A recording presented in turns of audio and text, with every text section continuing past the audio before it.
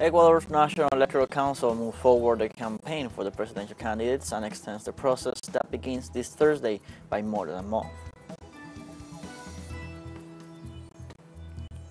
Peruvian Congress approves law allowing foreign military personnel to enter the country. And in Sudan's western Darfur region, mass graves were found with over 80 bodies. Women and children were among the victims.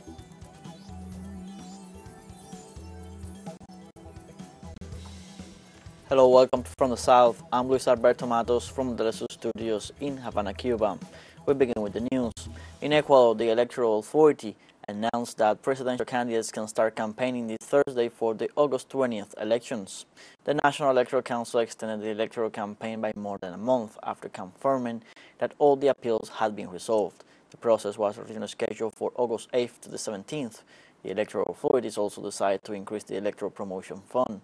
Two councillors, Elena Nájera and Esthela Acero, abstained because they considered that the decision violated the political rights of the organizations.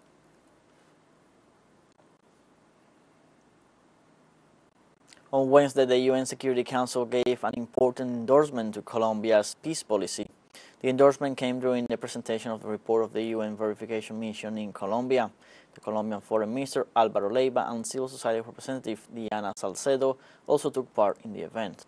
Carlos Ruiz Massieu, head of the office, emphasized that the implementation of the peace agreement is gaining momentum and that the efforts deployed through the total peace policy are yielding important results.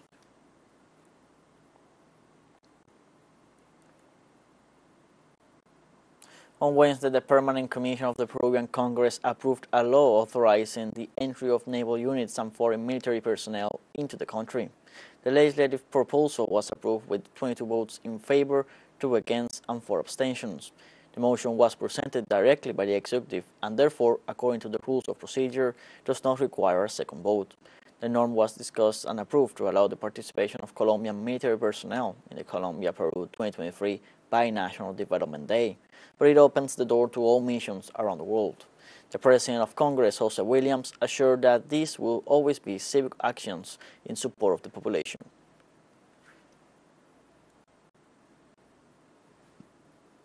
In Peru, the 7th Constitutional Court of Lima upheld the ban of marches in the center of the capital. The Peruvian government announced a ban on marches and rallies that could endanger public welfare and security. It also urged social organizations to mobilize in other parts of the city. George Malvina Saldaña reiterated that the city council's decision was perfectly legal since its purpose was to protect the historic and monumental heritage of the center of Lima. The right to peaceful protest has not been restricted or suspended by this agreement, as such protests can take place in other areas of the capital. The center of Lima is usually the site of the most emblematic demonstrations in Peru.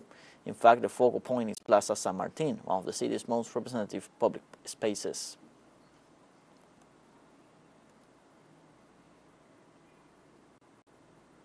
In Brazil, former President Jair Bolsonaro testified before the federal police in investigation of the attempted coup d'etat, which sought, among other things, to annul the last elections to prevent the inauguration of President Lula da Silva. In February, Senator Marcos do Val stated that Bolsonaro invited him to participate in a meeting and proposed him to record a conversation with the president of the electoral power, Alexandre de Moraes, in order to seek the annulment of the presidential elections. Likewise, one of do Val's versions states that the proposal of a coup attempt came from former President Jair Bolsonaro. Meanwhile, Bolsonaro declared about his participation in the coup acts during the attack to the headquarters of Three Powers on January 8th.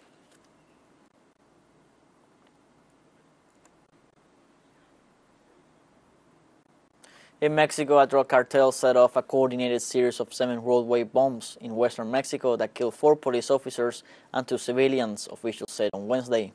Luis Mendez, the chief prosecutor of Jalisco State, said the blast late Tuesday in the township of Tlajomulco were so powerful they left craters in the road, destroyed at least four vehicles, and wounded 14 other people. Mendez also said the two dead civilians were in a vehicle that happened to be passing the spot when the bombs detonated in Tlajomulco near the state capital of Guadalajara.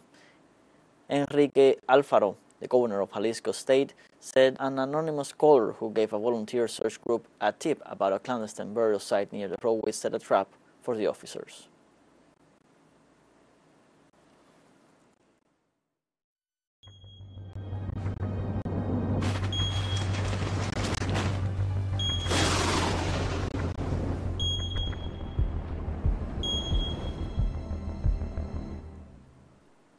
The construction of a dam to guarantee fresh water to the people in Uruguay is underway in the face of the water crisis the nation is experiencing.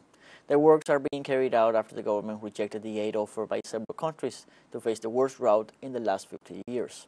Authorities indicated that they are waiting for the rains to come so that the water reservoirs can recover their levels crisis is due to the lack of rainfall. The South American nation has been suffering for several months, leaving freshwater reserves at their historic minimum levels. The lack of the vital liquid has caused serious disruptions in the lives of the Uruguayan people.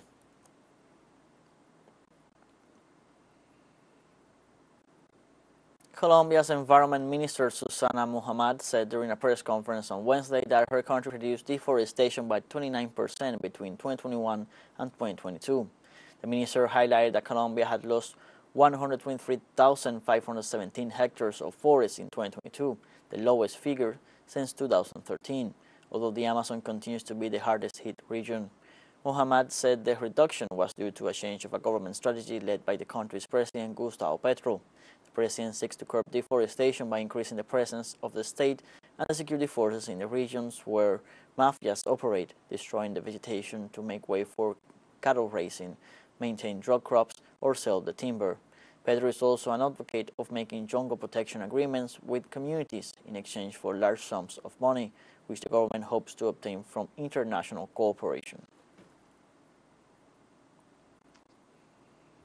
Let's take now a short break, but remember you can join us on TikTok at Telesur English, where you will find news in different formats, news updates, and much more.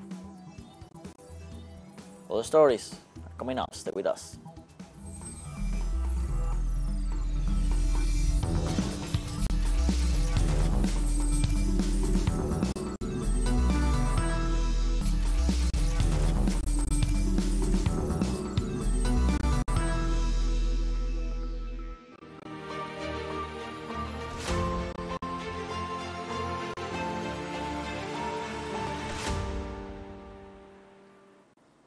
Welcome back from the south.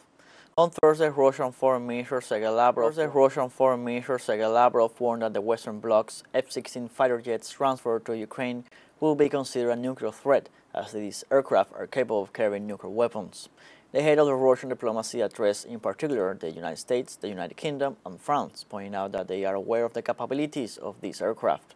Lavrov assured in an interview to Russian media that the appearance of these systems in the Ukrainian armed forces will be considered as a threat from the Western powers in the nuclear field. In a sense, he specified that Russia has clearly defined the conditions for the use of these weapons in its military doctrine. Increase attention to the comprehensive rural reform Russia denounced NATO of returning to Cold War schemes after the results of its last summit held in Lithuania. In this context, Moscow affirmed that it will increase its defense capability to respond with all means to the decisions of the warmongering entity.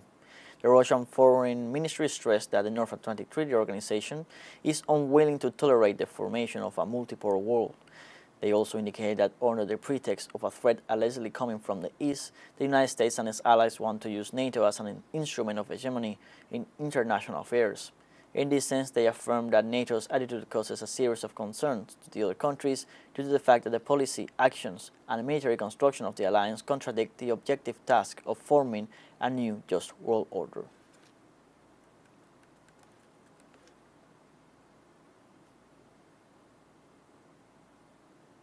Russia announced on Wednesday that its army had received more than 2,000 pieces of military hardware from the Wagner Group following the group's short-lived insurrection last month. According to the Russian Ministry of Defense, the equipment includes hundreds of tanks, Grad and Uragan multiple rocket launcher systems, Pantsir anti-aircraft systems, self-propelled artillery systems, armored personnel carriers, among others. All materials have been transported to the rear areas where maintenance units of the Russian armed forces will prepare them for further use.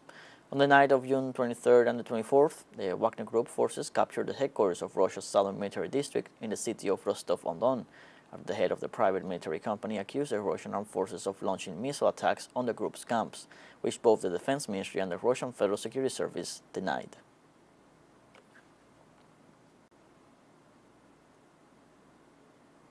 UN Secretary General Antonio Guterres sent a letter to Russian President Vladimir Putin on July 11th proposing a way forward for the implementation of the Russian part of the grain deal. According to the spokesman for the Secretary General, Stefan Dujarric, the proposal aims at removing hurdles affecting financial transactions through the Russian Agricultural Bank, a major concern expressed by the Russian Federation, and to simultaneously allow for the continued flow of Ukrainian grain through the Black Sea. On July 22, 2022, a package of documents on the supply of food and fertilizers to the international market was signed in Istanbul. Russian Foreign Minister Sergei Lavrov said earlier that the extension of the grain deal was out of the question unless the Russian package of the Istanbul agreements was enforced, adding that the deal was still being implemented only regarding the supply of Ukrainian grain.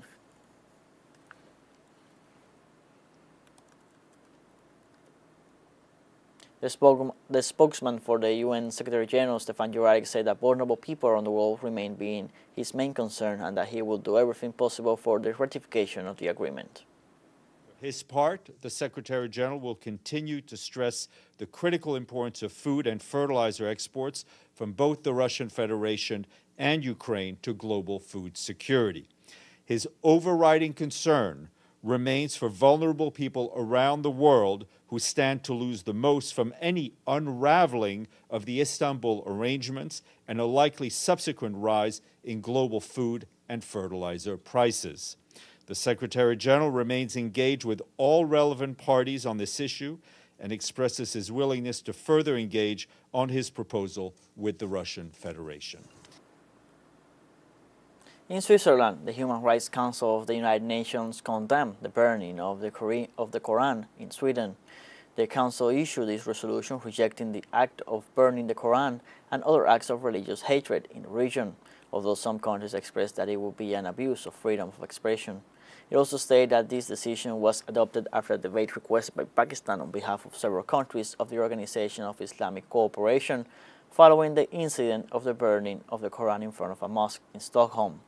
In the end, the order was approved by 28 of the 47 council members, while 7 members abstained and 12 voted against.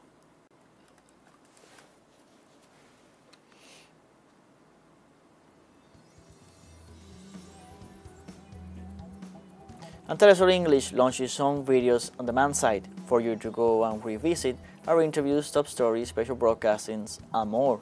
Just go to the top left corner in our website homepage and click on the video option to access our VOD platform. We will now take a final short break, so don't go away.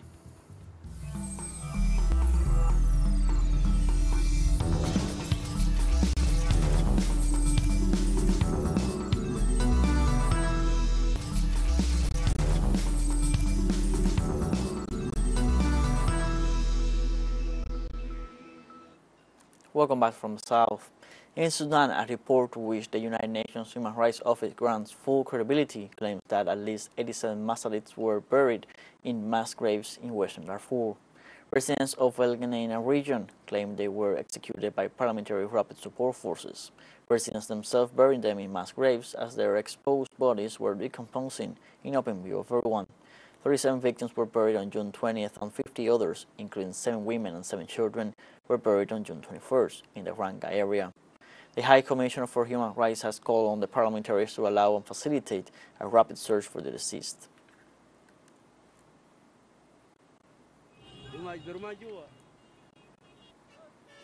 The head of the UN mission in Sudan, Volker Perthes, says the Sudan conflict could turn into an ethnic and tribal civil war as warning signs step up efforts to recruit fighters.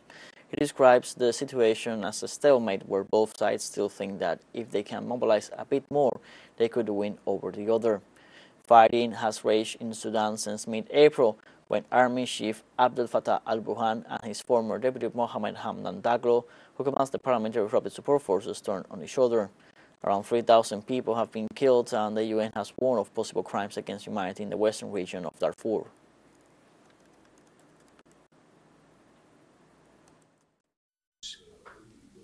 Both parties cannot, or so it seems, win militarily with what they have in terms of manpower. So both parties have been recruiting beyond their own formations on an ethnic basis, a tribal basis, or even an ideological basis. So here we are um, at the verge of this war between two military formations morphing into an ethnicized and tribalized civil war. So that none of the parties have been able, has been able for the last three months to win a decisive victory. Uh, if you look at the map in Khartoum, it's, it's almost unchanged from what it was on 16 April or so. So this stalemate is not a, a hurting, a mutually hurting stalemate, so that both parties would feel uh, obliged or forced to enter into negotiations. It is a stalemate where both sides still think that if they can mobilize a bit more, if they can resupply themselves better, they could win over the over the other side. The head of the UN mission in Sudan also referred to the last meeting held in Cairo to bring together all the countries affected by the conflict in order to achieve a unified position. With the uh, recent meeting in, in, in Cairo, the aim here is to get all the neighbors of Sudan together, and that is something we have actually been, been asking for as United Nations, and which is important because um, all neighbors are impacted by the war. They have different concerns, different interests. So it's very important to have a conversation between these neighbors whether one could get uh, a, a, unified stance, a unified position on on stopping that war, on ending this war, despite the different concerns and the different interests. The presidents of Kenya and Iran pledged on Wednesday to strengthen bilateral ties and to sign a number of trade agreements. The statement was made during Iranian President Ibrahim Raisi's maiden visit to the East African nation. Raisi described his visit as a turning point in the development of relations between the countries and said his talks with Kenya's President William Ruto reflected the determination and resolve of both countries for expansion of economic and trade cooperation, political cooperation and cultural cooperation. On the other hand, Ruto described Iran as Kenya's critical strategic partner. The Iranian president is also due to travel to Uganda and Zimbabwe this week on the first Africa tour by an Iranian leader in 11 years.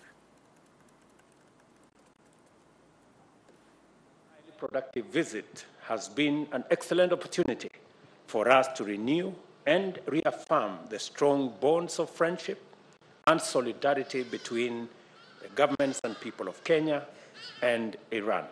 Today, President Raisi and I have witnessed the signing of five memoranda of understanding on cooperation in information communication and technology, fisheries, animal health, and livestock products, and investment promotion. These memoranda will enhance and further deepen our bilateral relations for sustainable growth and development between our two countries. These highly we believe that relations between Iran and Kenya could be strengthened on a daily basis. The African continent is full of capacity and opportunity. Despite all the threats and sanctions of our adversaries, we have managed to register advances in different fields, and today we should call Iran a technology hub we have managed to overcome present sanctions and have also upgraded our status in different fields. In Kenya, the death rose to 375 after a religious fasting in the Shakahola forest in Kilifi. Authorities performed exhumation of 12 more bodies related to the cult and religious fasting carried out in lands to Paul Mackenzie. Officials also confirmed that around 253 DNA samples have been taken. Finally, this exhumation phase resumed after a two-week pause by pathologists and homicide detectives. Officials added that the number of deaths could increase.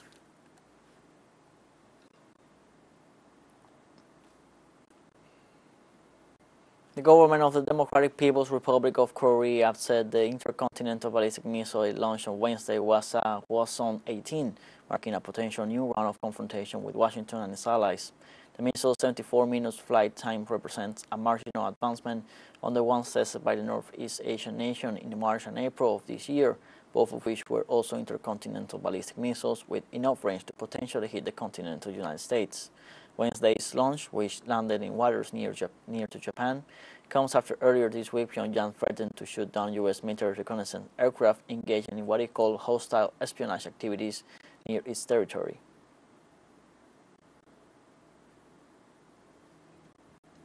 Like this, we have come to the end of this news from you can find these and many other stories on our website, telesurenglish.net. Also join us on social media, Facebook, Twitter, Instagram, Telegram, and TikTok. For Telesur English, I'm Luis Alberto Matos. Thank you for watching.